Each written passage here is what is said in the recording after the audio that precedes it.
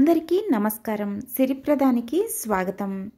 ఆస్తికులు నాస్తికులు అనే సంబంధం లేకుండా ప్రతి వారికి మూడు సందేహాలు తప్పక ఏదో ఒక సందర్భంలో వస్తూనే ఉంటాయి.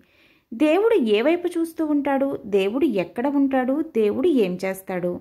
దేశాన్ని పాలించే రాజు మనసులో ముఖ్యంగా ఈ మూడు అర్థం కాని ప్రశ్నలు మెదడుని తొలుస్తూ ఉన్నాయి. ఆ ప్రశ్నలకు ఎన్నో మార్లు ఎంత యోచించినా సరైన సమాధానం దొరకలేదు.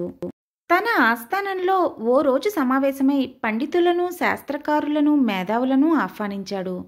తాను మూడు ప్రశ్నలు వేస్తానని వాటికి జవాబులు చెప్పడానికి ముందుకు వచ్చి సరైన సమాధానం చెప్పిన వారికి గొప్ప బహుమతి లభిస్తుందని చెప్పాడు. సరైన సమాధానం చెప్పకపోతే కారాగారం పాలు చేస్తానని కూడా చెప్పాడు. దాంతో భయపడి ఎవరూ ముందుకు రాలేదు. ఈ విషయం దేశమంతా చాటింపబడింది. ఓ కుగ్రామం నుంచి పశువుల కాపరి ఒక ఆయన ముందుకు వచ్చాడు.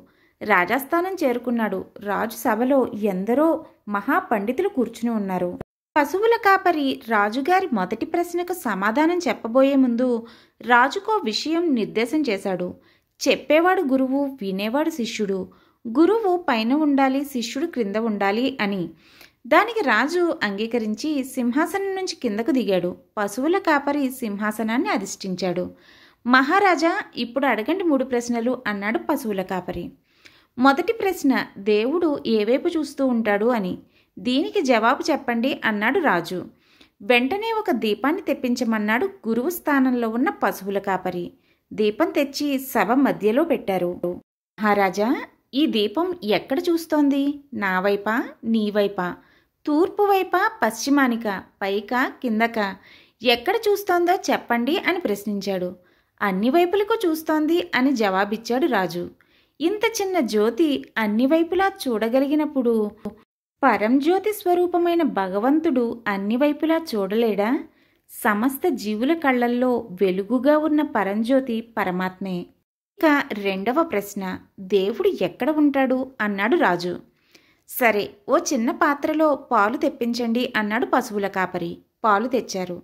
మహారాజా ఈ పాలల్లో నెయ్యి ఎక్కడ ఉందో చెప్పగలవా? అని అడిగాడు. పాలను బాగా మరగబెట్టాలి. వాటిని తోడు కలిపి కొన్ని గంటలు కదలకుండా ఉంచాలి. పెరుగు సిద్ధమవుతుంది. దాన్ని కవ్వంతో చిలికితే వెన్న వస్తుంది. తర్వాత తయారైన వెన్నను కాస్తే నెయ్యి తయారవుతుంది అన్నాడు రాజు. సరిగ్గా చెప్పారు మహారాజా. అలాగే హృదయం అనే పాలను గురువు అనే నిప్పులపై బాగా మరిగించి మనస్సు అనే తోడు వేసి స్థిరంగా ఉంచితే వచ్చే సత్యం అనే పెరుగును సాధన అనే కవ్వంతో చిలికితే జ్ఞానం అనే వెన్న వస్తుంది. ఆ సాధన అంతర్ముఖం అనే నిప్పులపై బాగా కాచినట్లయితే పరమాత్మ అనే నెయ్యి వస్తుంది అన్నాడు కాపరి. సభలో హర్షధ్వానాలు మిన్నుముట్టాయి ఇక చివరి ప్రశ్న దేవుడు ఏం చేస్తాడు అని. నేను పశువుల కాపరిని మీరు మహారాజు.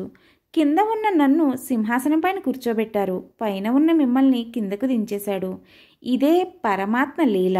ఇలాంటి ఊహకందని విషయాలని రెప్పపాటులో చేయగల సామర్థ్యం కేవలం భగవంతుడికే ఉంటుంది. ఇది భగవంతుని పని అని సెలవిచ్చాడు పశువుల కాపరి. మరో మంచి వీడియోతో సిరిప్రదం మళ్ళీ మీ ముందుకొస్తుంది. అంతవరకు సెలవు నమస్కారం. సర్వే జన సుఖినో భవంతు. సర్వం శ్రీకృష్ణార్పణమస్తు. స్వస్తి.